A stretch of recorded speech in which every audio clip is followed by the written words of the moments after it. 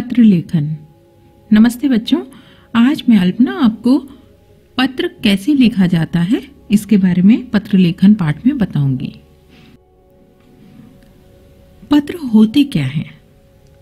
पत्र जिन्हें हम चिट्ठी, खत या इंग्लिश में लेटर कहते हैं।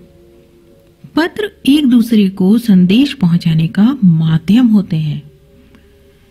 इनके द्वारा घर परिवार के समाचार अपने मन के भाव, विचार आदि प्रकट किए जाते हैं। मित्रों को लिखा जाता है, पत्र संबंधियों को लिखा जाता है, ना केवल नजदीकी संबंधियों को, बल्कि संपादकों, सरकारी अधिकारियों अलग अलग उद्देश्य से अलग अलग प्रकार के पत्र लिखे जाते हैं। पत्र लिखना कला है, और एक अच्छा पत्र कैसे लिखा जाए? यह इस बात पर निर्भर करेगा कि आप पत्र किसे लिख रहे हैं। तो जानते हैं पत्रों के कितने प्रकार होते हैं। पत्रों के प्रकार। इस बात पर मुख्यतः निर्भर करते हैं कि आप किसे पत्र लिख रहे हैं। पत्र अगर आप अपने संबंधियों, रिश्तेदार, परिवार के लोगों को लिख रहे हैं तो ये अनौपचारिक पत्र हो जाएँगे। और इनके अतिरिक्त जो पत्र लिखे जाएँगे वे औपचारिक पत्र की श्रेणी में आएँगे। तो हम कह सकते हैं कि पत्र मुख्यतः दो प्रकार के होते हैं। औपचारिक, इंग्लिश में हम फॉर्मल कहते हैं, औपचारिक पत्र और फॉर्मल पत्र। दूसरा, अनौपचारिक पत्र, इंग्लिश में हम कहेंगे इनफॉर्मल लेटर्स एक अच्छे पत्र की क्या विशेषताएँ होनी चाहिए? भाषा सरल होनी चाहिए और सभ्य होनी चाहिए, जिसे हम लिख रहे हैं, उसके अनुरूप होनी चाहिए। विचारों की स्पष्टता अवश्य होनी चाहिए। जो भी कुछ हम लिख रहे हैं, वह पढ़ने वाले को समझ आना चाहिए। और पत्र को प्रारूप के अनुसार लिखेंगे फॉर्मेट के अनुसार लिखेंगे तो बहुत ही प्रभावी हो जाएगा। जिस पत्र में जितनी स्वाभाविकता होगी, वह उतना ही पढ़ने वाले के ऊपर असर छोड़ सकेगा।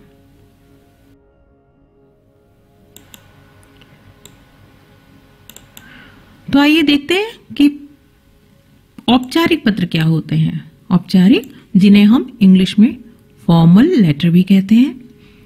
ये किनको लिखे जाते हैं? जिन व्यक्तियों के साथ व्यक्तिगत या पारिवारिक संबंध नहीं होते, उन्हें लिखे जाने वाले पत्र औपचारिक पत्र कहे जाते हैं। ये मुख्यतः निम्न प्रकार के हो सकते हैं। आवेदन पत्र जिसमें हम एप्लीकेशन लिखते हैं।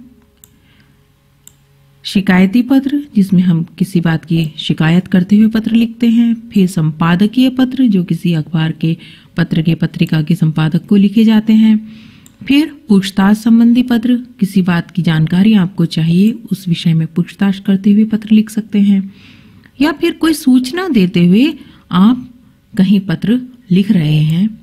व्यावसायिक पत्र, व्यवसाय से संबंधित पत्र या अन्य पत्र, जैसे कि निवेदन, प्रशंसा या किसी बात का अनुरोध करते हुए पत्र जब हम लिखते हैं तो उसे हम औपचारिक पत्र कहते हैं।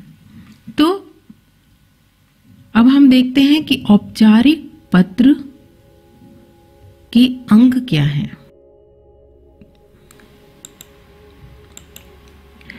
अब हम देखते हैं औपचारिक पत्र के क्या अंग होते हैं। पार्ट्स ऑफ़ लेटर तो सबसे ऊपर, बाएँ हाथ पर, ये जैसे सपोज़ ये पत्र है, आगे मैं दिखाऊँगी किस तरह से लिखना है तो पत्र प्रेषक, यानी जो पत्र भेजने वाला है, उसका पता। अब डिफरेंट डिफरेंट बुक्स में आपको थोड़ा बहुत अंतर प्रारूप में दिखाई देगा। जैसे कुछ किताबों में जो पत्र भेजने वाले का पता है, वो अंत में उसके नाम के बाद लिखा जाता है। और दिनांक जो है वो विषय के पहले और पत्र प्रापक के पते के बाद लिखी जाती है। तो थोड़ा बहुत अंतर है, परंतु जो सबसे अधिक मान्य है, उसको हम फॉलो करेंगे यहाँ पर। तो सबसे पहले आप लिखेंगे पत्र प्रेषक का पता, यानी आपका, आप पत्र लिख रहे हैं, अपना पता। उसके बाद तिथि लिखेंगे, तारीख। उसके बाद पत्र प्रापक जिसे आप लिख रहे हैं, उसका पद भी लिखना है क्योंकि यह औपचारिक पत्र है। किसी कार्यालय को किसी संस्था को ही ये जा रहा है। तो वहाँ पे आप किसी न किसी पद के अधिकारी को इस पत्र को लिख रहे हैं। तो जैसे कि स्कूल में लिख रहे हैं तो प्रधानाचार्य को लिख रहे हैं या आ, किसी मुख्य शिक्षक को लिख रहे हैं किसी विषय के शिक्षक विशेष को लिख रहे हैं तो इस तरह से आप उसमें लिख सकते हैं पद। और उसके पश्चात आप लिखेंगे पता फिर एक पंक्ति छोड़कर आप लिखेंगे विषय। सब्जेक्ट ये इंपॉर्टेंट है। सब्जेक्ट लिखना औपचारिक पत्र में इंपॉर्टेंट है। उसके बाद आप लिखेंगे संबोधन। जो जिसको भी लिख रहे हैं, उसका उचित आदर सूचक शब्द आप यहाँ लिखेंगे संबोधन में। और उसके पश्चात आपको सीधा अपना मूल विषय स्टार्ट करना है। अभिवादन नहीं लिखना है। औपचारिक पत्रों में ग्रीटिंग्स नहीं लिखे जाते, नमस्ते, सादर प्रणाम इत्यादि नहीं लिखा जाता। फिर मूल विषय समाप्त करने के बाद पत्र की समाप्ति करें, औपचारिक वाक्य से समाप्ति करें और दो या तीन अनुच्छेद में मूल विषय लिखा जाता है। फिर एक पंक्ति में सिर्फ़ धन्यवाद धन्यवाद सहित लिखें और उसके बाद अगली पंक्ति में आप स्वनिर्देश, आत्मनिर्देश, जो भी आपके पत्र के विषय के अनुसार होगा। अगर आप स्कूल में किसी को लिख रहे हैं तो उसके हिसाब से आप लिखेंगे। आज्ञाकारी शिष्य, अगर लड़की है तो शिष्या लिखेगी। और अगर आप संपादक या किसी अन्य अधिकारी, किसी अन्य कार्यालय में पत्र भेज रहे हैं तो भवदीय आप वहाँ लिखेंगे।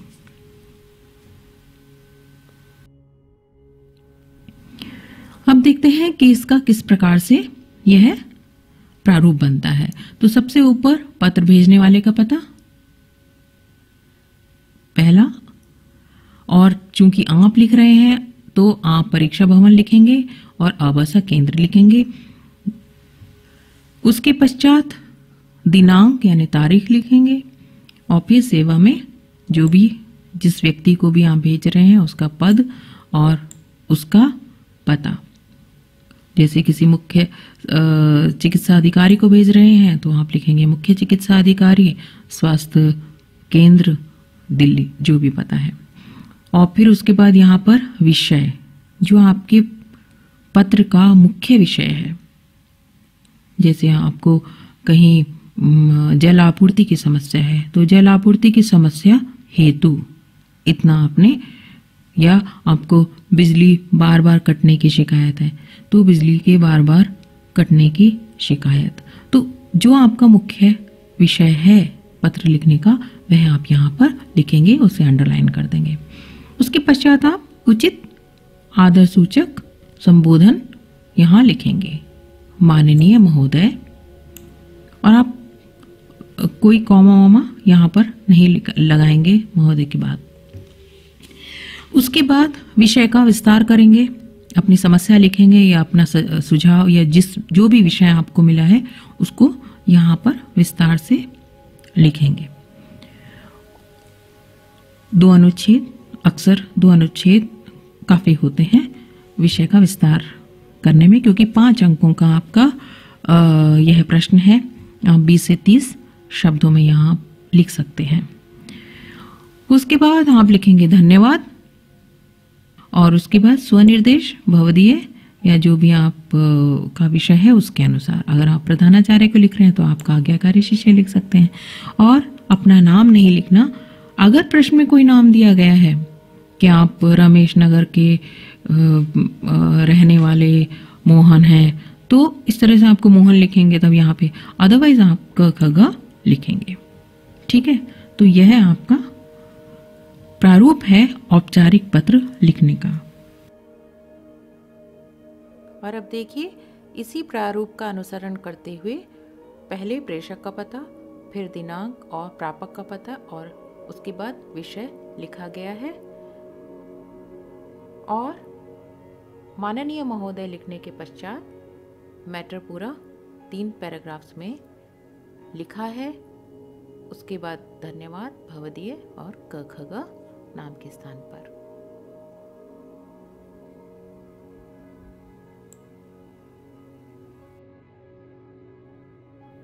अब एक उदाहरण देखते हैं। एक नमूना जो एक मॉडल आंसर शीट में से लिया गया है।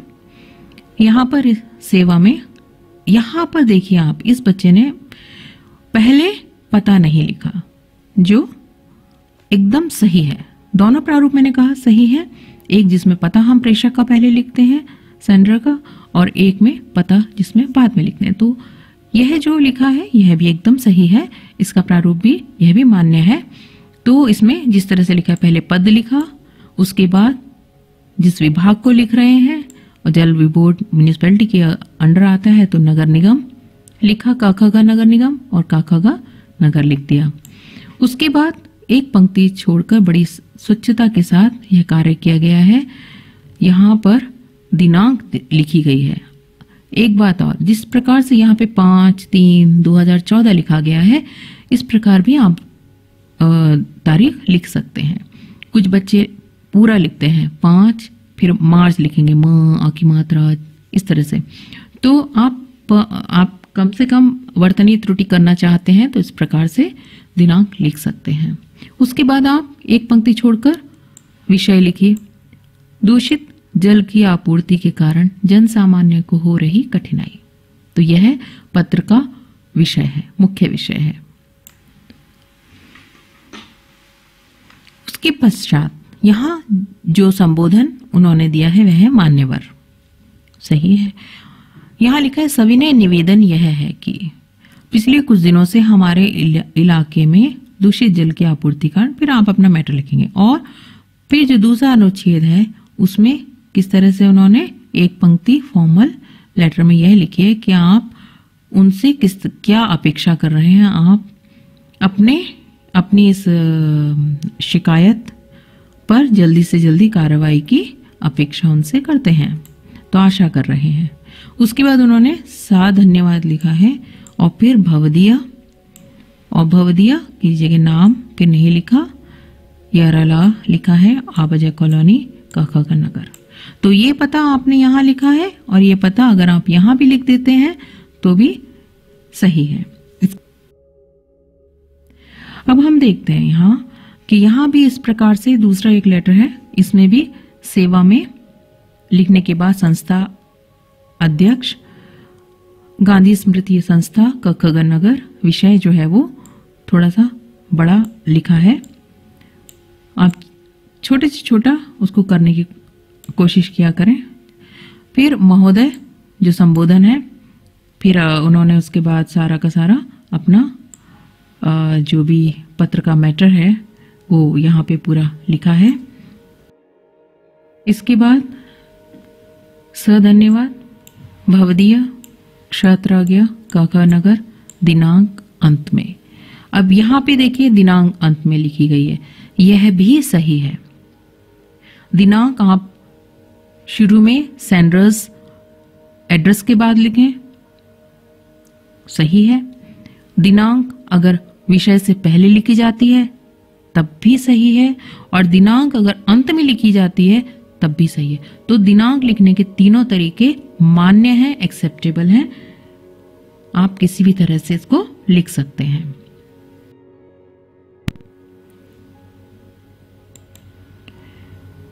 तो अब देखते हैं कि अनौपचारिक पत्र क्या होते हैं। अनौपचारिक पत्र, जिन व्यक्तियों के साथ हमारे व्यक्तिगत संबंध होते हैं, पारिवारिक संबंध होते हैं, उन्हें लिखे जाने वाले पत्र अनौपचारिक पत्र कहलाते हैं।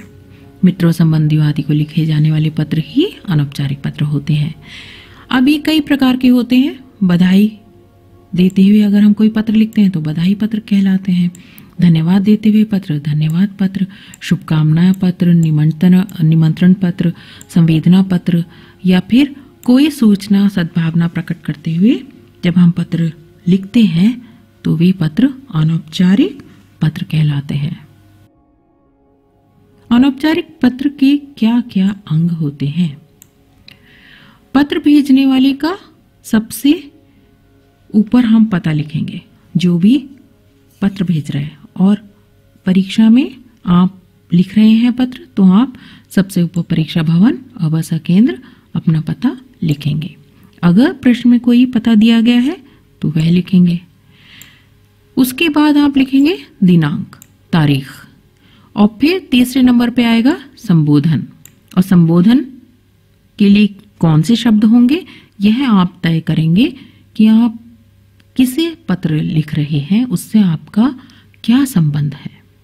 जैसे, संबंध अगर माता पिता है, आपके, आप अपने माता पिता को लिख रहे हो, या कोई भी आपसे बड़ा है, उसको लिख रहे हो, तब संबोधन जो भी लिखा जाएगा, वह आदर सूचक शब्दों में लिखा जाएगा। जैसे, पूजनीय, पूज्य, परम पूज्य, आदरणीय इत्यादि।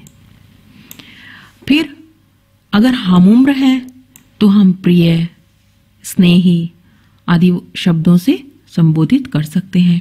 और अगर आपसे छोटा है, छोटी बहन हो सकती है, भाई है या आपका शिष्य है तो आप उसे नाम लेकर संबोधित कर सकते हैं, उसके आगे आप प्रिय भी लगा सकते हैं। तो यहाँ संबोधन आपको पत्र पाने वाले से आपके संबंध पर निर्भर करेगा। उसी तरह अभिवादन के लिए कैसा कौन सा अभिवादन शब्द आपको यूज़ करना है, लेटर में लिखना है, यह भी आपके संबंध पर निर्भर करेगा। जिससे आप पत्र लिख रहे हैं, उससे आपका क्या संबंध है? संबंध है। अगर वह आपसे बड़ा है तो आप सादर चरण, स्पर्श, प्रणाम, नमस्ते, सादर प्रणाम इत्यादि लिखेंगे। अगर अगर आपका हम उम्र है तो आप सब प्रेम, नमस्ते, मधुर स्मृति इत्यादि लिखेंगे। और अगर आपसे छोटा है तो चिरंजीवी रहो सुभाशीष आशीर्वाद सहित इत्यादि लिखेंगे। और ये सब लिखने, शुरुआती हिस्सा लिखने के बाद आप जो मुख्य भाग लिखेंगे तो वहाँ विषय का विस्तार देंगे। और विषय को विस्तार आप तीन पैराग्राफ्स में करेंगे। तो जो पहला पैरा होगा उसमें आप अपनी कुशल क्षेम बताते हुए आप उसकी कुशल क्षेम के बारे में भी पूछेंगे। उसके पश्चात आप जो दूसरा पैराग्राफ लिखेंगे, वह मुख्य बात कहता हुआ होना चाहिए। जितना भी आपका जो भी आप पत्र में अपने विषय को विस्तार दे रहे हैं, मुख्यतः वहाँ आप उस अपने बात को लिखेंगे। का विस्तार देते हुए हमें तीन पैराग्राफ बनाने पहले पैराग्राफ में आप लिखेंगे कि आप कैसे हैं, मैं कैसा हूँ, जो भी है, कुशल क्षेम बताते हुए एक दो लाइनें लिखनी है, फिर मुख्य बात जो है, वह दूसरे पैराग्राफ में लिखनी है। और तीसरे पैराग्राफ में आप दो लाइनों में आप लिखिए कि जैसे कि हम लिखते हैं कि आपके पत्र की प्रतीक्षा में आशा है आप अवश्य आएँगे, या जो भी विषय के अनुसार आप उसे समाप्त करते हुए, विषय को समाप्त करते हुए पंक्तियाँ लिखेंगे। उसके पश्चात आप पत्र पाने वाले से अपना संबंध बताते हुए लिखेंगे। तो पत्र पाने वाले से आपका क्या संबंध है? जैसे कि बड़े हैं तो आपका आज्ञाकारी आपके पिता या, या माता है या जो भी आपका संबंध है वह आप यहाँ लिख सकते हैं। समापन शब्द में आपसे बड़े हैं तो आपका आज्ञाकारी जो भी हैं आप भतीजे हैं भांजे हैं पुत्र हैं पुत्री हैं वो लिख सकते हैं। फिर हम उम्र हैं तो आप तुम्हारा मित्र तुम्हारी सखी आदि लिख सकते हैं। फिर छोटा है तो तुम्हारा हितैषी तुम्हारा शुभाकांक्षी इत्यादि संबंध अवश्य लिखते हैं। तुम्हारा बड़ा भाई, दीदी, इस प्रकार से आप लिख सकते हो। फिर जब नाम लिखने की बारी आती है तो आपको अपना नाम नहीं लिखना है। अगर पत्र में प्रश्न पत्र में आपको जो प्रश्न दिया गया है उसमें कोई नाम लिखा है कि अपने छोटे भाई राजू को आप लिख रहे हैं तो आप ये हैं आप, आपका नाम दिया है। लिखने वाले का नाम अगर वहाँ दिया है कि आप मोहन है, अपने छोटे भाई राजू को लिख रहे हैं तो उसी प्रकार से आपको नाम लिखना है। अन्यथा आपको क, ख, ग लिखना है।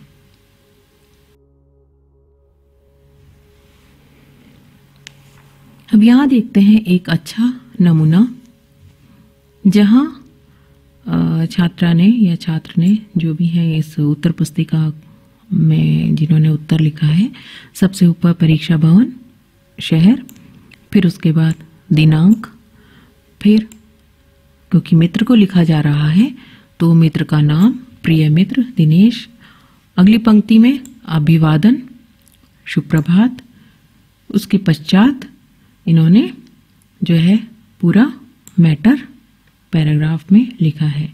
तो आप आगे देखेंगे अगले पन्ने पर कि किस तरह से अगला पैराग्राफ हम देख सकते हैं। तो यहाँ पर इन्होंने तीन पैराग्राफ में आ, अपनी बात समाप्त की है और अंतिम पैराग्राफ में कुछ इसी तरह से आपको भी लिखना होता है कि बड़ों को प्रणाम छोटों को आशीष या छोटों को प्यार इत्यादि। अंत में संबंध बताते हुए आपको लिखना है, तुम्हारा मित्र, तुम्हारी सखी जो भी है तो यहाँ पर लिखा है तुम्हारा मित्र, क, ख, ग। तो यह प्रारूप के अनुसार लिखा गया एक नमूना है। अब एक यह पत्र भी देख लेते हैं, यह भी अनौपचारिक पत्र का एक अच्छा नमूना है। यहाँ जो पता लिखा है, वह काल्पनिक होगा, आप भी काल्पनिक पता लिख सकते हैं। अगर आप परीक्षा भवन नहीं लिखना चाहते, लेकिन अच्छा है कि परीक्षा भवन आप लिखें। और, दिनांक, एक पंक्ति छोड़कर बड़ी सफ़ाई से, सुंदरता से यह चिट्ठी लिखी गई है।